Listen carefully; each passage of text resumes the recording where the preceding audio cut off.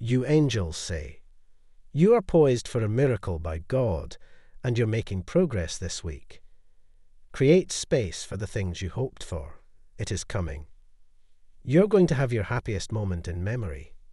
Observe what God does next. Your finest years are still in front of you. God is restoring your health, more powerful and improved than ever.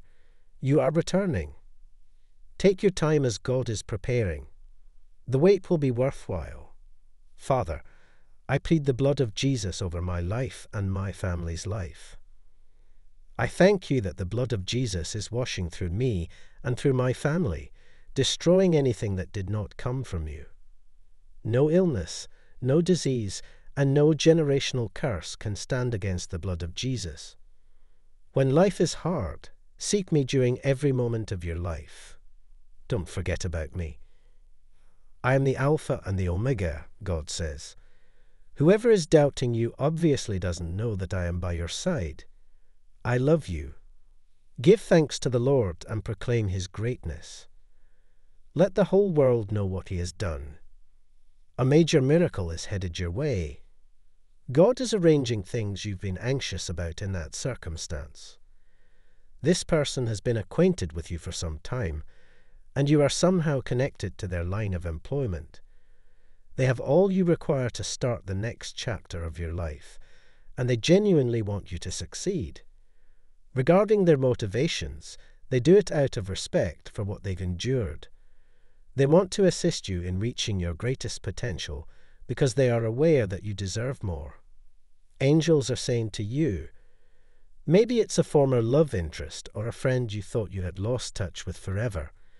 Whatever tries to prevent you, a mountain of disease, a mountain of depression, a mountain of debt, and a mountain of addiction, you might think it's insurmountable, but our God can handle anything.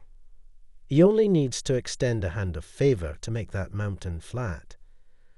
God is telling you that if you needed it, He would make up for the years the enemy stole from you, the years you spent alone and the years you endured abuse. Whatever the cause, the situation has the potential to elicit both exhilaration and trepidation. You'll have a lot of joy, a lot of peace, a lot of things to do, and a lot of chances. Don't let what isn't lining up get you down. It has not ended. God is still at work in the background. You can't see what's going on, but it's there. Giving Him thanks. I understand that your heart is broken today.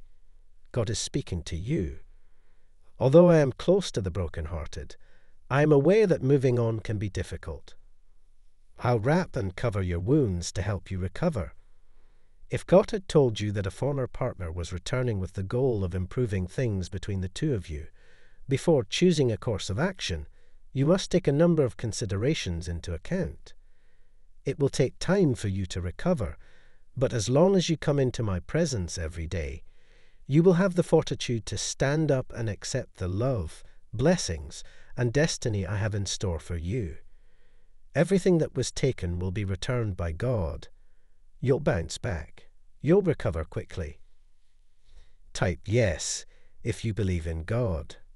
God bless you.